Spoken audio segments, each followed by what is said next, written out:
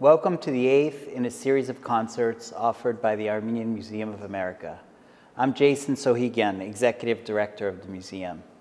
Before getting started, I wanted to mention that the museum is open with new galleries of ancient and medieval artifacts, folk instruments, two contemporary art exhibits, and a new exhibit on maps coming soon. The museum is open from Friday through Sunday from noon to 6 p.m., and we hope to see you. We launched a membership drive for the museum's 50th anniversary, and our mission is more important now than ever. So if you enjoy this program, I hope you'll become a member of the museum via our website, armenianmuseum.org.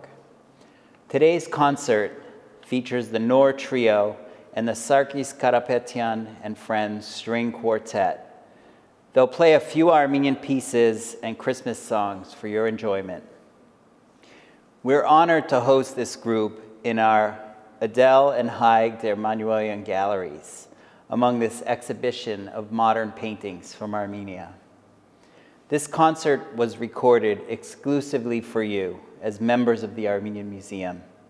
And the series is curated by artistic director, composer, and conductor Konstantin Bedrosyan.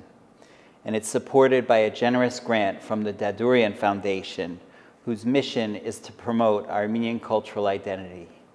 Շնորհավոր նոր տարի եւ Սուրբ Ծնունդ։